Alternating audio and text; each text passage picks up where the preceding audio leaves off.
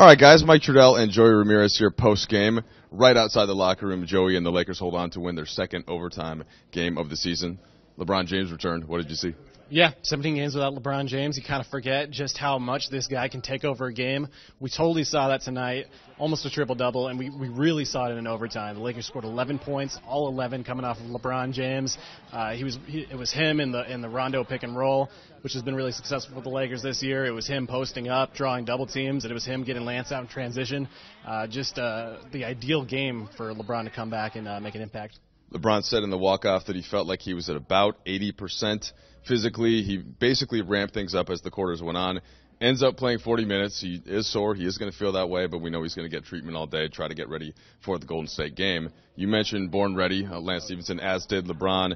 Five threes, and then that key and one in overtime. Uh, where did where was Lance getting his shots from, and how key was that for the Lakers? Yeah, you know, Lance has been a good three-point shooter this year. I know that's not really his uh, his reputation, but this year in this system, Lance has really been thriving, hitting around 40% on the year.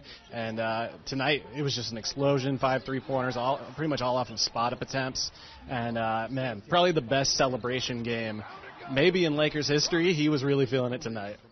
Wow, the be- the best celebration game in Lakers history, Joey. That's that's a bold claim. Yeah, you could ch- you could check the tape. Lance was strumming that guitar. He had a little a little extra in the overtime. I, I am gonna put it up there. I am not gonna go go in yet. You you just put all of Lakers history into place, but that was a very bold statement. I like that. Uh, all right, a couple other things to note from the game. Rondo did a little bit of everything. You saw Kyle Kuzma limited a little bit, uh, maybe by the hip. Joey, anything else stand out to you in the game? Yeah, I mean Kuz is something to monitor for sure. Rondo, I thought, like you said, he, a great rebounding game from him tonight. Brandon Ingram efficient as usual in, in this uh, last two week stretch that he's been, and then uh, man, Lakers really did a good job defending without fouling tonight. The Clippers they they averaged the most free throws in the NBA.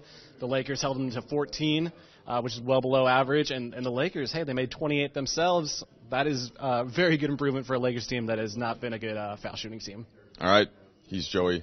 I'm Mike. The Lakers hit the road, even though this was technically a road game tonight uh, at Staples Center, and they won't be back here for a home game for a while.